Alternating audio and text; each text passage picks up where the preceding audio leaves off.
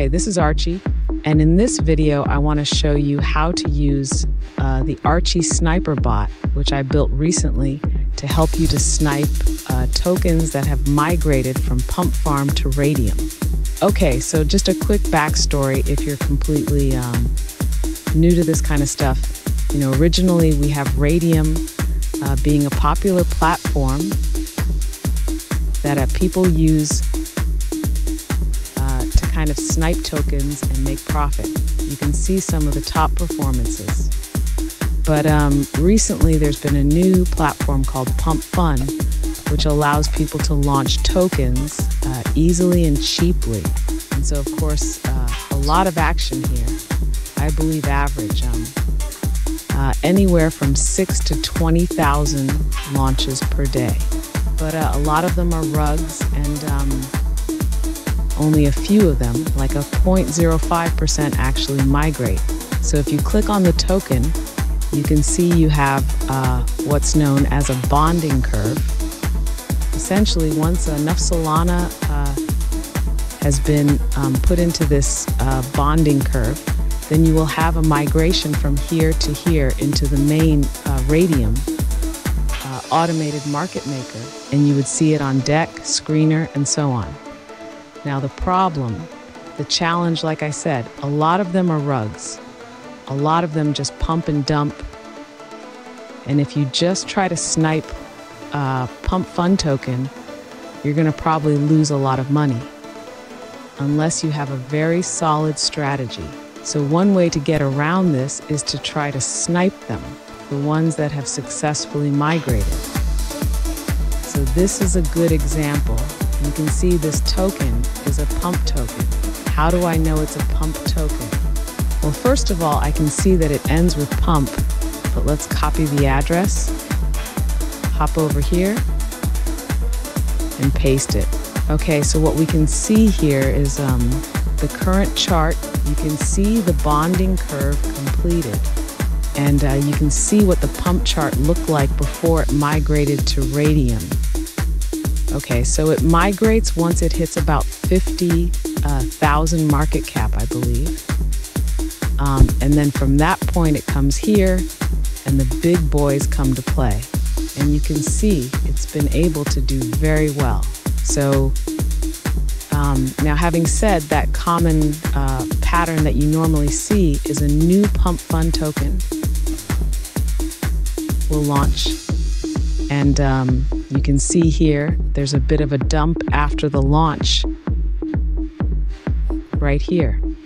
So you can see these are a 66% drop before it went up again. So a lot of them um, have, a, have a short spike and then they dump. Some of them never recover, um, but some of them do pump.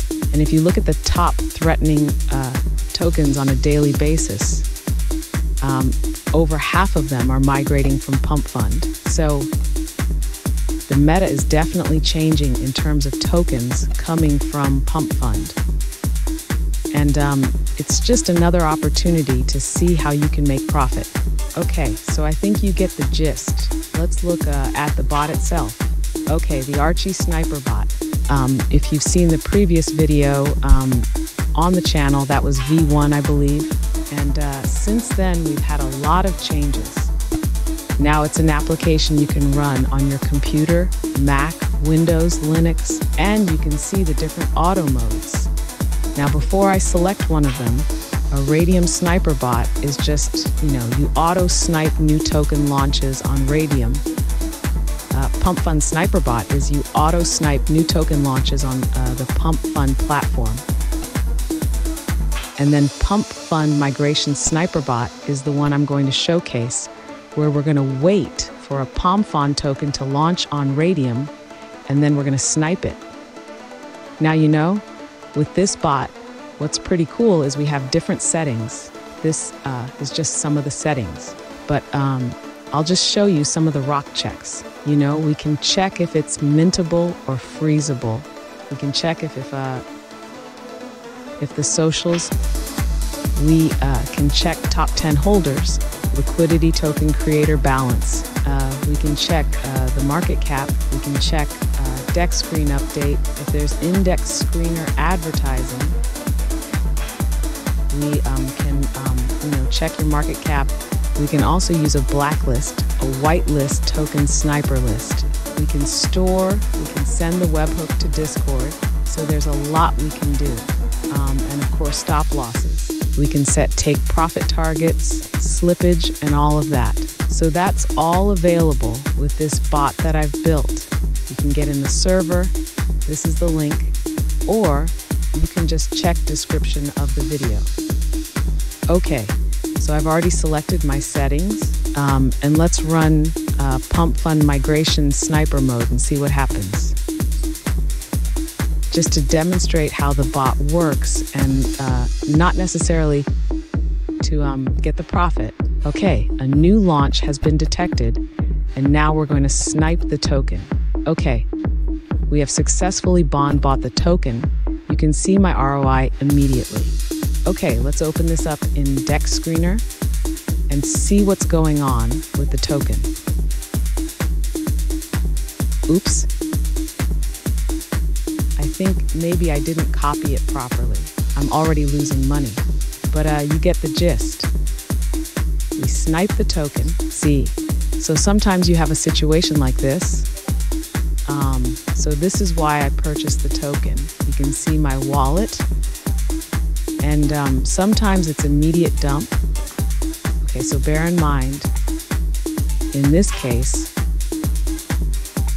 I did not use any rug checks. So this is just a pure snipe without the rug checks. Okay. And now we hit the stop loss and uh, sell the token. So if I refresh, you can see I made the loss. But again, I'm just showing the concept here. No rug checks were enabled. Okay, so there's multiple rock checks this could have been used um, in this particular case uh, to help me avoid uh, purchasing this token. But the advantage of this is you don't have to take the risk of you know going through thousands of tokens uh, on pump on. You can just wait okay? Make sure that it qualifies itself like this guy. And once it migrates we can then auto snipe and set the stop loss and limit order. Like I said, I didn't put any rug checks, uh, so if I did, I probably could have avoided, but I just want to show you how it works. You can see just launched in Raydium, and it came from Pump. Fun. Okay, so this is the transaction that just occurred using my wallet. Let me uh, let us wait for another token. Let's see if we have better luck. Oh. Uh, don't, don't tell me it's going to reverse. I think I left the moon bag. No.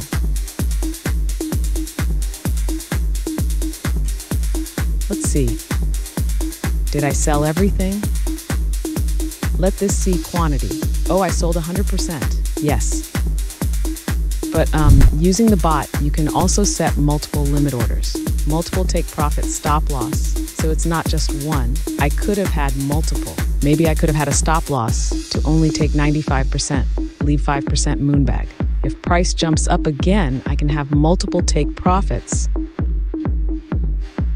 Okay, so here we have also webhook, which was sent to my Discord server showing the trader card. You can see display of the current ROI and a token holdings and uh, we use Jito to uh, um, protection so no one can front run you, and you also land your transaction quicker. Okay, seems like this token is picking back up after uh, I sold my bag. Well, let's see what happens there. But uh, not relevant. For the sake of this demo, uh, let's try to wait uh, and see. Actually, I am going to make um, a little tweak and I'm going to check uh, for Dexscreener paid. All right, so give me a second. I'm going to go and uh, change my. Oh my God, this is coming back up. Yeah, this is why it's important, you know, to not always be uh, so aggressive with the stop loss, you know, or at least leave a moon bag, because I don't know. You know, when I when I looked at this case, like I said, in the first in the first couple of minutes, there was immediate dump, and then it uh, it took off. You know, so if you saw too early, then it's a problem, right? So, yeah, maybe a little bit of mistake. But um, yes. Let us let's uh, do an example this time with one uh, or more rug checks. Okay. See, we have another token coming through potentially. Okay, valid. Invalid. Okay. And uh, this bot is just running in the background, you know, and uh, it's pretty cool. It's away from keyboard. You just put your settings.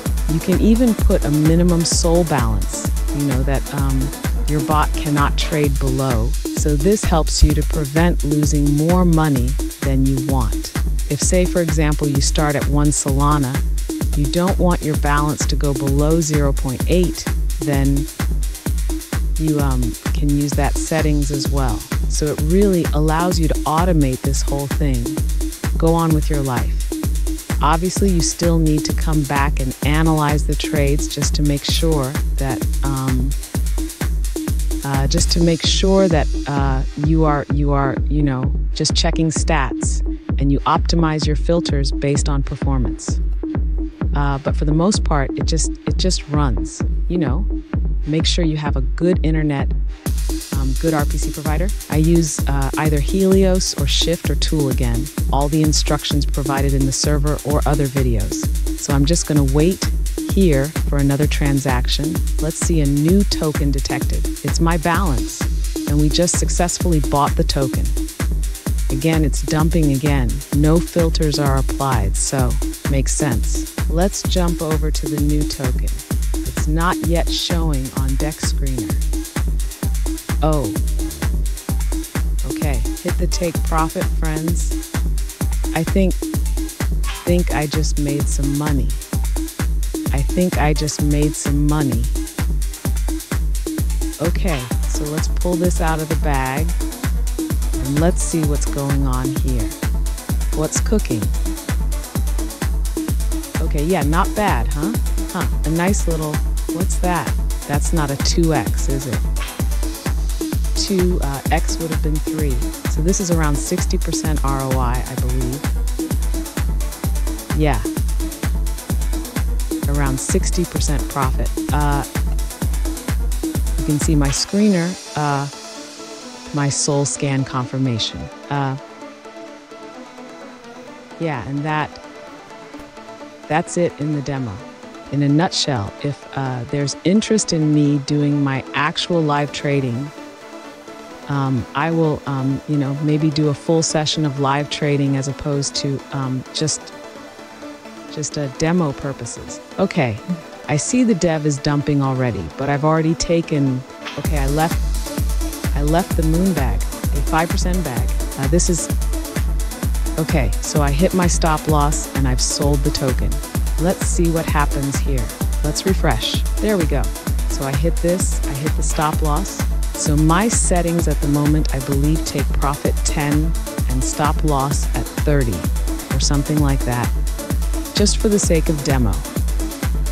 And um, yeah, but uh, I just made a profit on this one overall. Yes, I know the amounts are tiny, but for the sake of demo purposes, this was almost a 2x, uh, pretty quick. Managed. Ah, us didn't uh, snipe in the first block. Came in the fourth second, typically because, um, you know, my network isn't always great. I'm sure if you had faster network, and um, also gas fees very low as well. You probably can end up in the first block. Okay, so this is the bot in a second. I said in a second, in a nutshell. Um, And this is a strategy I think can be very profitable instead of going here and just doing suicide.